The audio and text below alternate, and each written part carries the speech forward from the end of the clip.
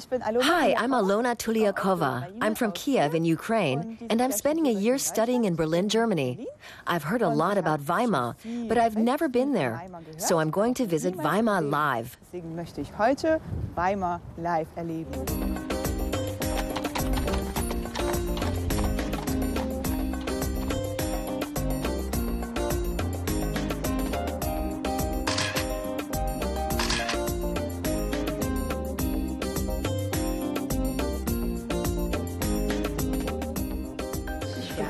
Welcome to the foundation of Weimar Classics. Let me show you Goethe's garden house.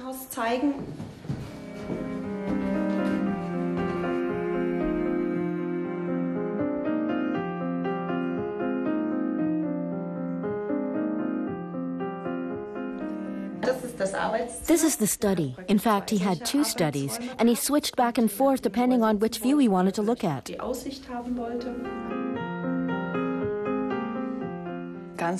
Very romantic, especially the view of the garden. You can see how it must have inspired him. An den Mond, fühlest wieder Busch und Teil, still mit Nebelglanz, löses endlich auch einmal meine Seele ganz.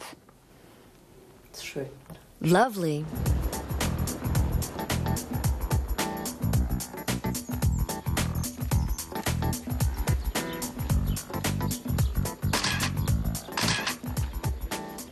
This is typical of German cities. The city hall is right in the center. That's not the case where I come from.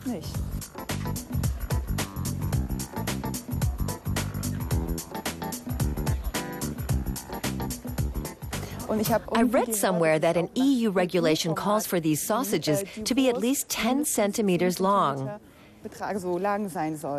I don't have a ruler with me, but I'm going to try one anyway.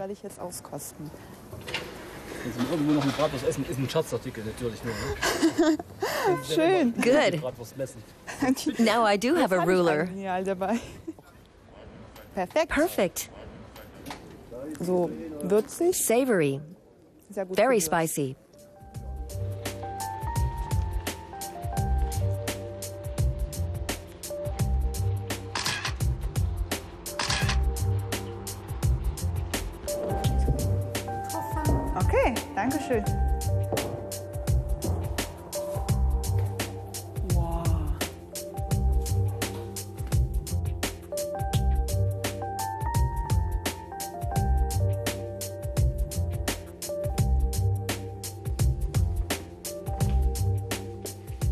It's wonderful to think that Goethe actually handled these books. There were 30,000 books here at first. By the time he died in 1832, there were 80,000.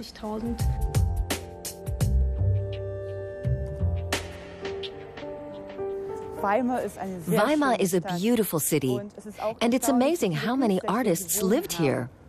Unfortunately, my day here is over now, and I have to go back to Berlin. But as Goethe once said, you don't travel in order to arrive, you travel in order to travel on. Bye.